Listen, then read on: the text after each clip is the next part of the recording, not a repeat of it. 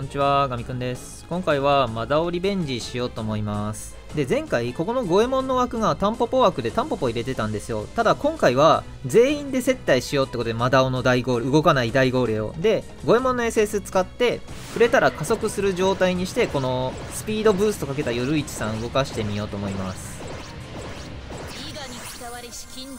多分、まあ、倒しちゃったらちょっとしょうがない。ただ、下の雑魚は倒さないと思う、多分。いや、ま、これぐらいはしょうがないか。で、どう動かそうか。うーん。で、縦で動かそうか。じゃあ、こう、こんな感じで、まあ、右側切っていくような感じで。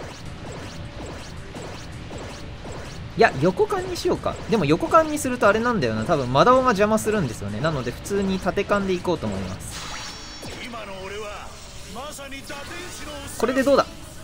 略してマダオだおマダオ使える。マダを使えるよ。みんなこれでマダをちゃんと使えるよ。ちゃんと加速付与してあげればめちゃくちゃ使える。なのでおすすめだと思います。はい終わります。バイバイ。